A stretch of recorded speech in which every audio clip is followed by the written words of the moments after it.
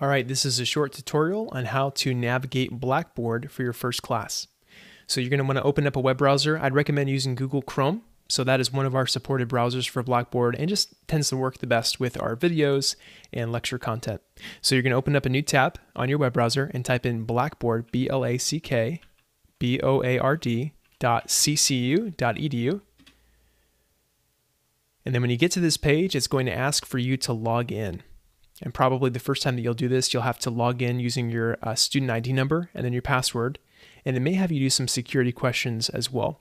But this is the page that you'll be greeted with. So this is the Blackboard dashboard page. So there's lots of helpful information here. You have a list of supported browsers up here at the top. There is a Blackboard support number here on the right hand side. Um, there's also a place to download Microsoft Office. So if you don't currently have a paid version of uh, Microsoft Word, Microsoft Excel, PowerPoint, all those things, you can actually access that here for free um, by clicking on this link and then signing up using your student email address. But we're going to go ahead and look at our first class. So we're going to want to look in the middle of the page under the My Courses box.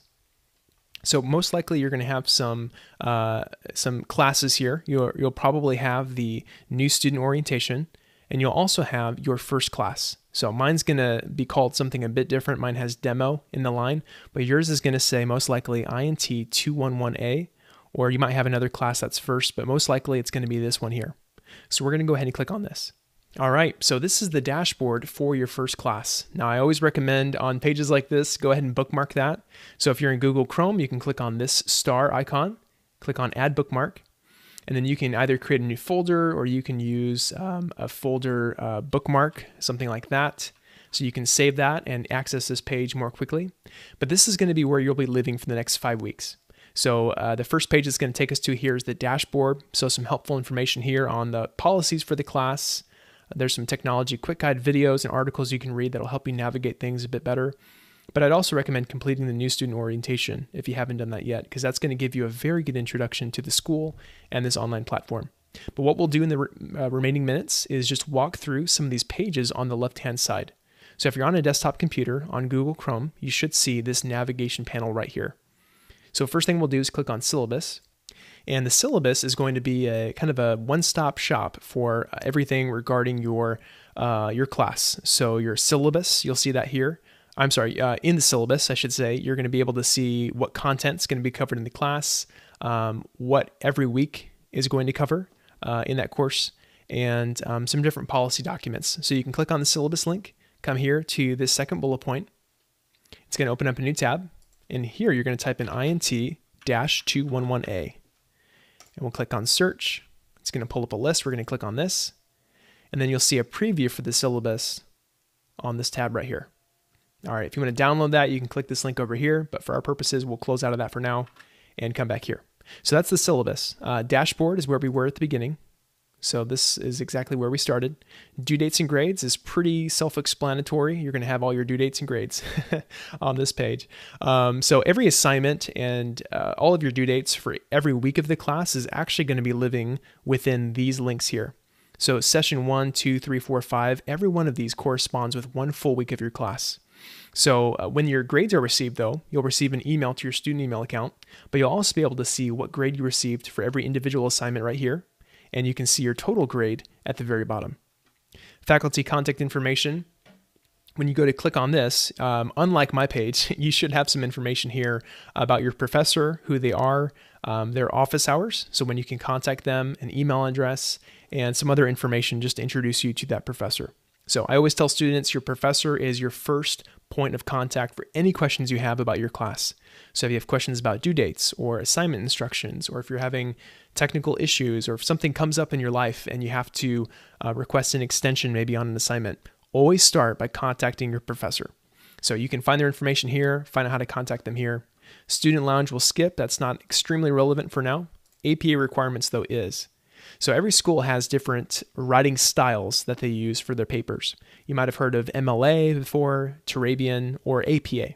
So APA is what we use. So that determines what font size your paper will use, um, what spacing you'll have, what your title page will look like, what your bibliography page will look like. So every school does things a bit differently, but we've actually made it, it relatively easy for you. So you can click on this link right here. This is awesome. So download the APA template Word And I'll just open this up to show you what this will look like. So this is awesome because this is going to um, show you exactly how to format your paper. So we can click on Enable Editing. And again, if you do not have Microsoft Word on your computer already, don't forget that link at the beginning of this video where you can sign up for that. But as you can see here, it already has all of the formatting taken care of for you. So you can just open this up, and I would always recommend um, starting by making a copy. So to do that, you'll come up to File, and then Save As, and then you can make a new file. So you can come to Desktop, or you can save that file wherever you want and just name it something like First Paper. And that way your template will stay the same. So all of this will still be here, and you can start every paper by opening up this template and then clicking on File, Save As to make a copy. And then when you're ready to write your paper, you can come in here and replace this with your title. Of course, replace this with your name, course number, uh, title of the paper. So all you have to do is just come in here, come into your template, make that copy, and then replace all of the content that's here with your content. So that way you're not having to worry about formatting, you're just worrying about writing your paper. All right, there are other helpful things here as well. There's some APA resources. You're going to be doing some reading and some assignments on this in your first week. The most important thing is really just to download that template. Clifton Fowler Library, we'll take a look at that real quick. This is kind of your research hub for your time as a student. So later on in your classes, you'll be doing research papers, and uh, this is a great link that you can come to to look for books and articles. You can connect with a virtual librarian and have some help with your research. So you'll learn a bit more about that as you get on in your classes. Welcome, we'll skip that, but we're going to click next on session one. So again, every one of these links, one, two, three, four, five, represents one full week of your class. So your first week of class is going to be in session one. You'll see here there's a video you can watch. I'd recommend it. This is helpful to walk you through kind of what we're doing, so how you can navigate the class. And then here we go. This is really where we get into the class. So session one content. We're going to go ahead and click on this. And I always recommend that students start every single week of their class, so every session, by opening up this content link because this is going to walk you through everything. So you can see here, uh, just you take it step by step. It'll take you through some reading materials. There's going to be some lectures and some videos that you'll watch. And you can really just kind of follow this as you go step by step. But the session one content link is also going to have instructions for your assignments for the week.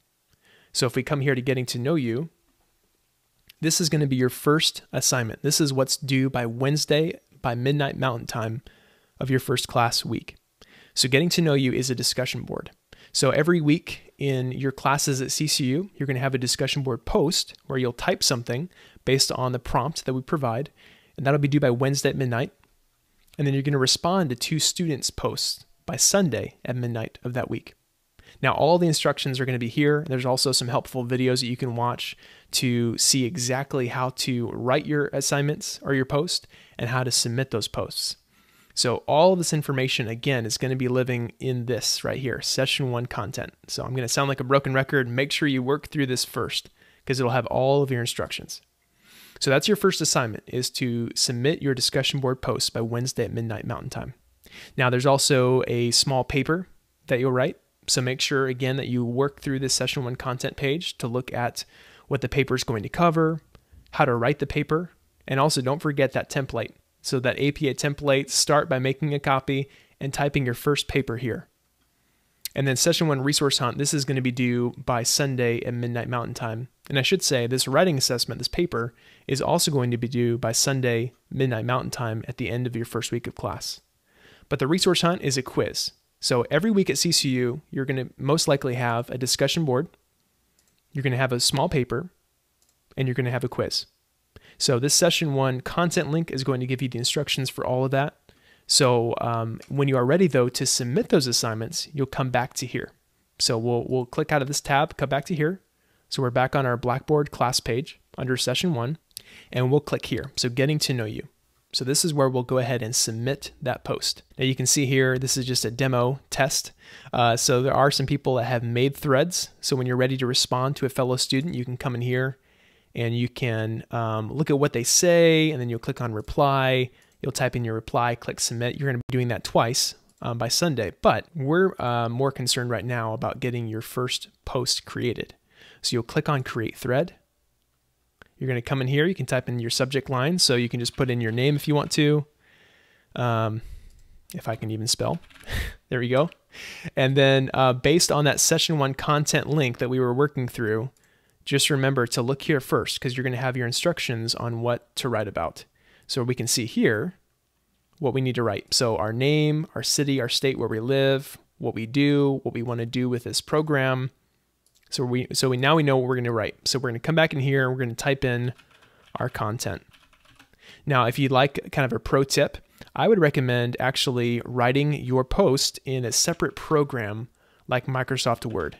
Because what can happen is if you start typing your paper or your discussion post on the website, if, if you lose internet connection or you have to refresh your page, all of this here will go away and you'll lose all that work.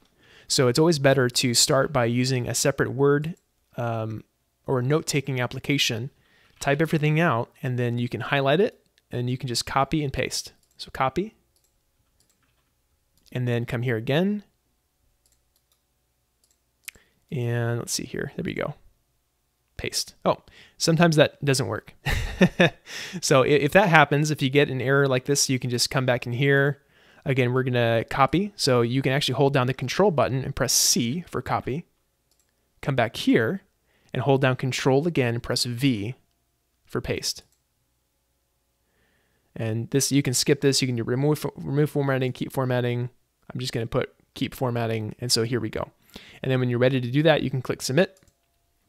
And there we go. So that has been posted. So again, that is that is your first week of class. So we can go back to session one and just remember. So you have your first discussion post due by Wednesday at midnight Mountain Time. You have your two replies due by Sunday midnight Mountain Time. You have your first session one paper due by Sunday at midnight Mountain Time. And you have your first quiz also due by Sunday at midnight Mountain Time. The good news is you're going to have this same exact format in every one of these sessions. So the first week is always a little bit difficult because you're getting to know a new system, but I promise the more that you do this, the easier it gets. The format stays the same in every single week, in every single class. All right, I did just want to show you one last thing. So we just finished looking at our class, but I want to show you a couple resources that you have access to as a student. So if you come over here on student resources, again, you may have different options up here, but you should have this one. This is going to take you to a page called Connect. And there are tons of helpful resources here for students. Now, the first thing I'll show you here is a link to schedule an appointment with your SSA or your Student Success Advisor. So starting in your second full week of class, you'll begin working with your advisor. And they're going to be the one to help you with uh, anything else that you need throughout the duration of your program. Now, they work with a lot of students, so it really is up to you as a student to reach out to them if you need some help or assistance with anything. So you can click on this link here, and it'll take you to a page where you can schedule a 30 minute block with them to discuss anything that you need. So definitely take advantage of this if you need any assistance throughout your program. Just as a reminder though, if you have questions about your class specifically, always reach out to your professor first by going back to that faculty contact info page. Um, but if you have questions about your degree program or financial aid or future class registration, your SSA is going to be your go-to person. Beneath that, there's other resources here. This writing guide is helpful. It's going to give you more videos on how to write in the APA format.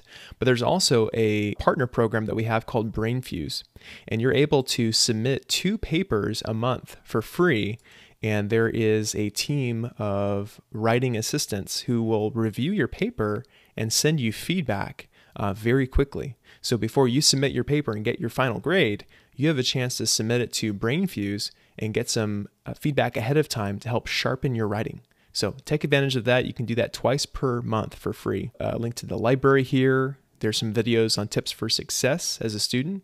We have information on um, finding careers, uh, thinking through what you can do with your degree once you're finished, other accommodations, places for sharing prayer requests.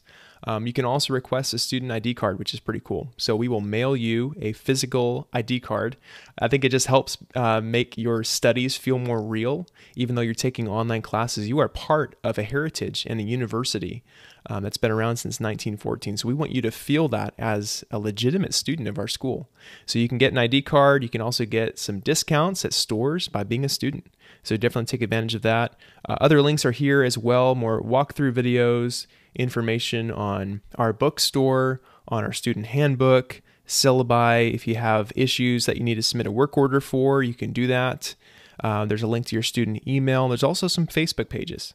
So please take advantage of all of these resources that you have here as a student. And again, you just get to there by clicking on student resources up here. But I hope this video has been helpful to you. Know that we here at CCU are supporting you and praying for you as you begin your first week of class. We're so excited to see what God is going to do through it.